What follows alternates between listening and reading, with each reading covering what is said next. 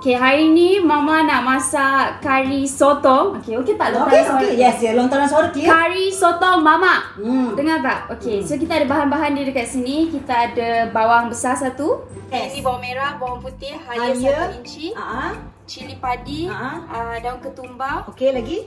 daun kari, Lagi. serbuk uh, cili powder. Ah, serbuk cili powder eh. Serbuk cili powder berasa serbuk cili powder. Ah, ataupun Serbuk cili powder. ataupun cili powder. Okey. Lepas tu ni serbuk kari seafood. Ah, dia uh, serbuk uh, kari yang you masak kari ketam ya. Ah, itu eh. Okey. Kenapa Asam keping. Ah, asam keping. Okey, kenapa kenapa uh, Syah rasa kenapa mama letak asam keping? Sebab tak nak bagi rasa sotong tu hanya. Yes, pandai. Betul betul betul. Sebab si kalau masak seafood, masak apa sajalah kita tak sukalah benda yang berbau hanyir ni. So sotong kita dah pun cuci dengan uh, asam jawa tadi tapi si letakkan juga asam keping ya guys eh. Rasa dia pun lebih lebih sedap. Ini apa? Ah. Dia tak tahu ni guys. Bunga cengkeh, bunga lawang. Dia tak tahu ni guys. Empat sekawan. Empat sekawan? Ini namanya halba campur. Ya, dan bila si masak kari sotong, si akan biarkan sotong tu seekor-seekor guys. Ya, baru bila kita tengok sotong tu kita steam je kan. Rasa macam ah, tak sabar gitu kan. Okay guys. Bahan-bahan kita kena blend dulu. Bawang besar. Setengah orang masak kari dia uh, apa? Dia hiris kan? Hmm. Tapi mama tak. Ni bawang putih. Okey. Ya, sedikit bawang merah juga guys.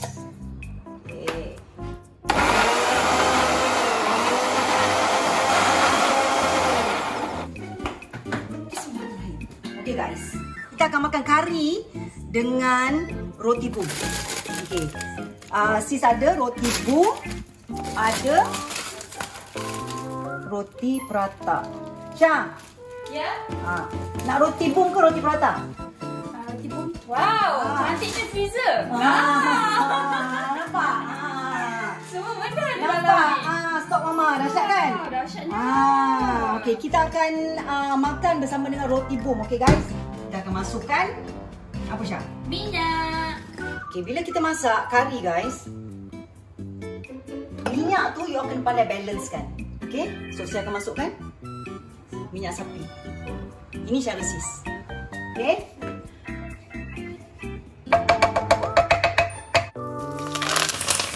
Eh, jangan pergi jauh.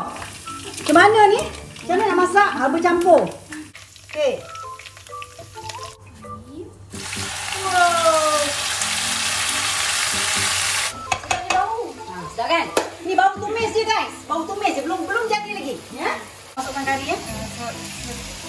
Kita tumis dia. Kita tumis rempah-rempah kita dulu sampai dia betul-betul masak. Baru kita masukkan air. Barulah kari kita sedap, ya. Okey guys, okey Syah masukkan air kat dalam. Bismillahirrahmanirrahim. Okay. Potong dia akan mengeluarkan air. So you all jangan kelang kabut letak air yang banyak, eh guys. Ah, cair sangat tak sedap. Kari kalau nak makan dengan roti boom ataupun roti prata, ya, kena pekat. Bila pekat barulah dia melekat likat barulah sedap guys. Okey? Okey, masuk eh sekeping. Macam minyak lagi. Masukkan Maggi cukup rasa sikit guys. Okey. Agak-agak. Okey. Cook with your heart.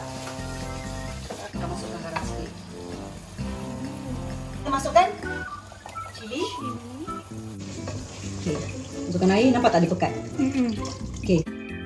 So bila dia dah mendidih kejap lagi, kita masukkan sotong, dah siap dah kari. Senang kan? Ha. Senang kan? Senang je.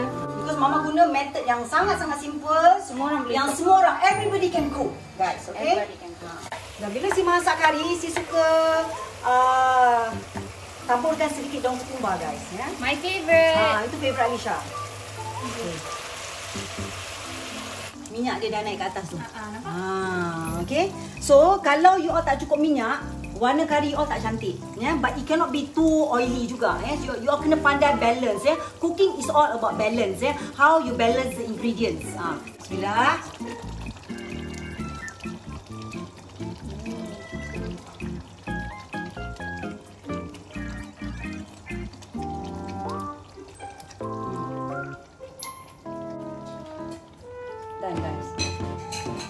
You all nampak eh? Ni minyak dia tak terlalu banyak. Just nice ya. Just nice untuk mencantikkan warna kari tu. Ya. Okay. Kenapa mama masukkanlah sotong sebab mama tak nak sotong tu over cook. Masukkan sikit dulu sebab mama nak bau tu. Bau ah bau ketumbar tu.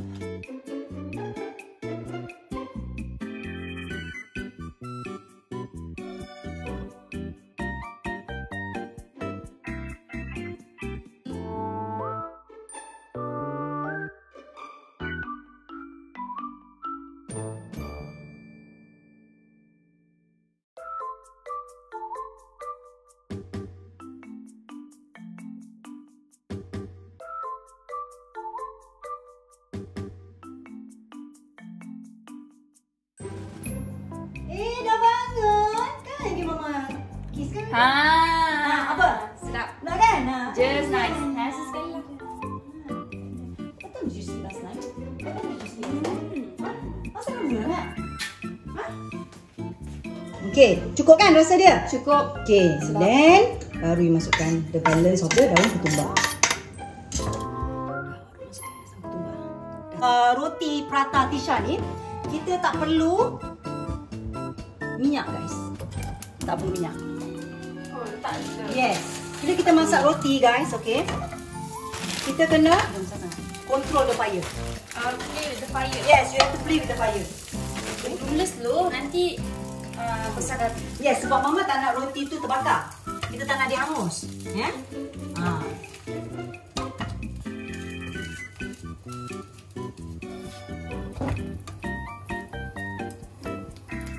Jangan sampai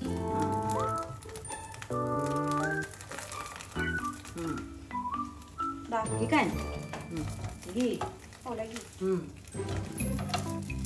Guys, tengok. Ha, dah siap dah. Kan susah pun. Mudah saja. Mudah saja. Tak, tak payah guna minyak. Okay guys? Ha? Roti Tisha tak perlu guna minyak.